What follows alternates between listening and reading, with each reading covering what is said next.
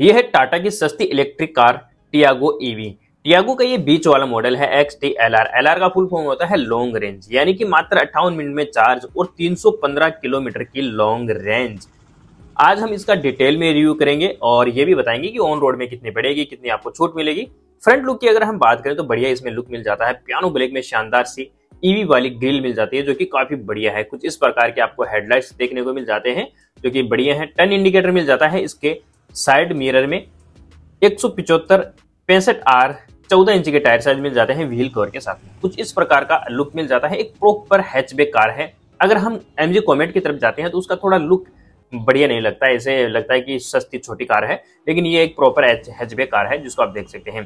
पीछे के लुक की अगर हम बात करें तो कुछ इस प्रकार का इसमें आपको लुक देखने को मिल जाता है, जो कि काफ़ी बढ़िया है। और इसमें आपको कुछ इस प्रकार के टेल लैम्प देखने को मिल जाते हैं टर्न इंडिकेटर के साथ में।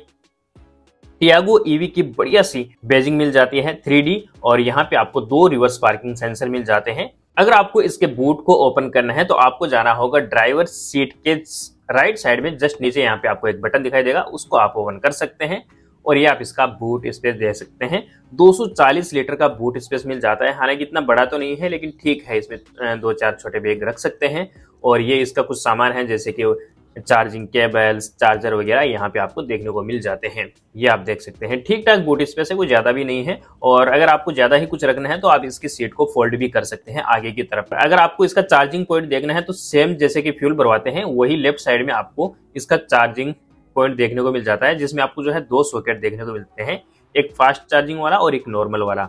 ये आप देख सकते हैं, दो जो है चार्जिंग पॉइंट इसमें आपको देखने को मिल जाते हैं, यहाँ से आप चार्ज कर सकते हैं।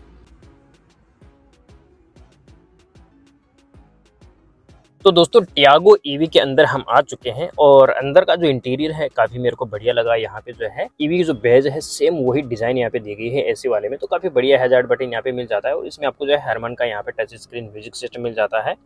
बाकी यहाँ पे जो है, आपको स्विच वगैरह भी जो है, देखने को मिल जाते हैं। इसके अलावा यहाँ पे आपको जो है एसी मिल जाती है। एसी के सारे कंट्रोल्स यहाँ पे मिल जाते हैं। नीचे यहाँ पे आपको जो है यूएसबी चार्जर का ऑप्शन मिल जाता है। बारह वोल्ट का चार्जर सॉकेट यहाँ पे दिया गया है। और यहाँ पे आपको जो है इसका गियर मिल जाता है, जो कि काफ़ी ज़्यादा सिंपल है। यहाँ पे अगर आप देखेंगे तो यहाँ पे neutral drive mode rear mode और स्पोर्ट्स मोड तीन आपको जो है इसमें आपको गियर देखने को मिल जाता है। यहाँ पे थोड़ा स्पेस मिल जाता है, अगर आप कुछ मोबाइल वगैरह रखते हैं। इसके अलावा यहाँ पे बीच में हैंड ब्रेक मिल जाता है, यहाँ पे छोटा सा कोई बोतल का होल्डर यहाँ पे मिल जाता है। सीट काफ़ी बढ़िया है।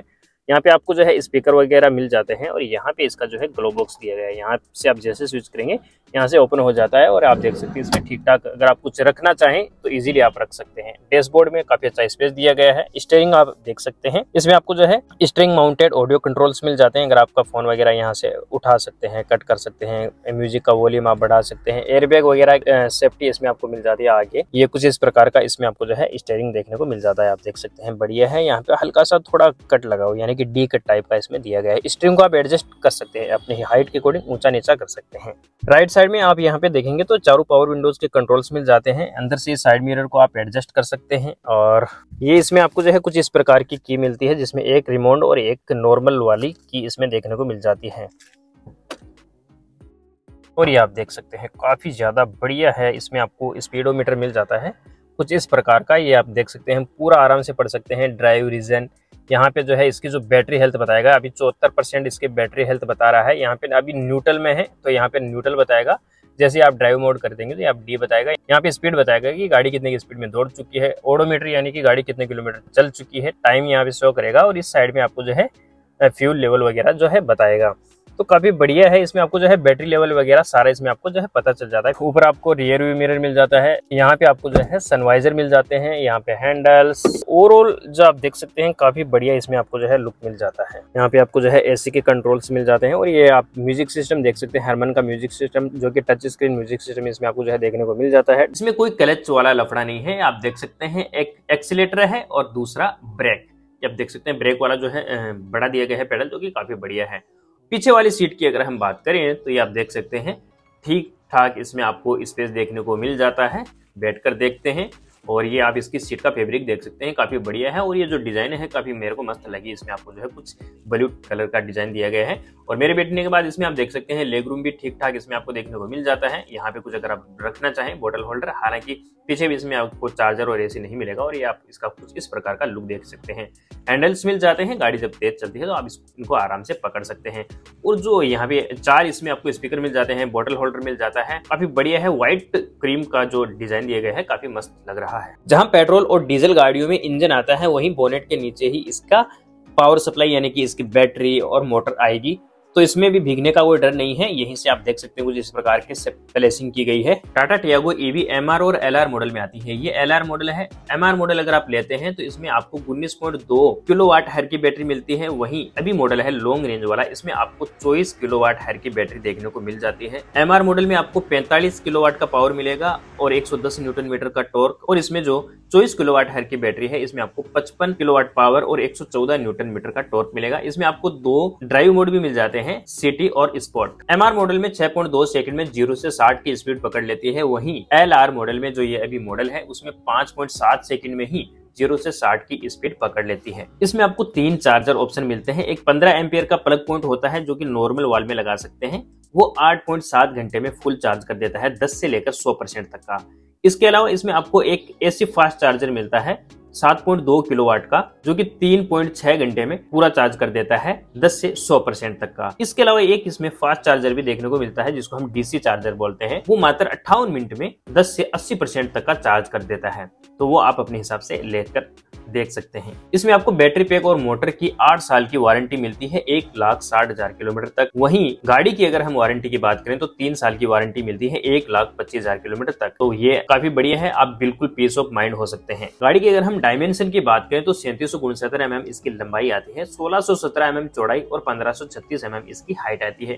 चौबीस सौ एम का व्हील बेसिस में आपको देखने को मिल जाता है और पाँच पॉइंट एक मीटर का छोटा टर्निंग रेडियस सर्किल मिल जाता है, जिसे क्या होता है कि आप सिटी वगैरह में इसको आराम से घुमा सकते हैं, मोड़ सकते हैं।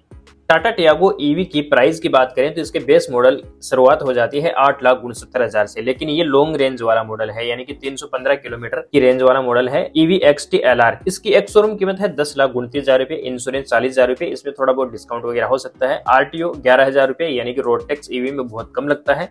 तो टोटल हो जाती है दस लाख अस्सी हज़ार रुपए लेकिन अभी इस पे आपको ऑफ़र मिल रहा है चालीस हज़ार रुपए का। तो चालीस हज़ार रुपए का ऑफ़र करने के बाद इसकी ऑन रोड कीमत हो जाती है दस लाख चालीस हज़ार रुपए नेट प्राइस अब अगर हम इसके फाइनेंस की बात करें तो एक शोरूम कीमत का पिचासी नब्बे परसेंट तक फाइनेंस हो जाता है। तो लगभग नब्बे परसेंट निकालते हैं तो नौ लाख छब्बीस हज़ार सौ रुपए का लोन होता है। तो आपको डाउन पेमेंट देना होगा एक लाख तेरह हज़ार नौ सौ रुपए लगभग एक लाख चौदह पंद्रह हज़ार में इस गाड़ी को आप घर लेकर जा सकते हैं। बाकी का पैसा ई e में भर सकते हैं। तो ई e बनेगी पंद्रह हज़ार एक सौ छत्तीस रुपए के चौरासी सात साल के लिए और तीन लाख पैंतालीस हज़ार तीन सौ सैंतीस रुपए का इंटरेस्ट पे करना होगा। अगर आप चाहते हैं साठ महीने की किस्त बनाना, यानी कि पाँच साल के लिए तो फिर उन्नीस हज़ार चार सौ पचास रुपए की साठ किस्तें बनेंगी और दो लाख चालीस हज़ार आठ सौ नब्बे रुपए का इंटरेस्ट पे करना होगा। अगर आप डाउन पेमेंट ज़्यादा देना चाहते हैं, आप चाहते हैं कि भाई मैं तीन चालीस का ऊपर वाला जो है डाउन पेमेंट कर देता हूँ, सात लाख का ही फाइनेंस करूँगा तो फिर ई e बनेगी ग्यारह हज़ार चार सौ चालीस रुपए के चौरासी, ये भी सात साल के लिए लोन होगा और दो लाख इकसठ हज़ार छब्बीस रुपए का ब्याज लगेगा। तो आप जितना ज़्यादा डाउन पेमेंट देना चाहें, उतना आप दे सकते हैं। इसमें जो रेट ऑफ़ इंटरेस्ट लगी है, वो साढ़े नौ परसेंट की दर से लगी है, जो की H D F C Axis bank लगभग सेम यही रेट है। अगर आपके पास गवर्नमेंट सर्वेंट वाला इनकम प्रूफ है बैंक ऑफ़ बड़ौदा में आप फाइनेंस करवाते हैं तो आठ अस्सी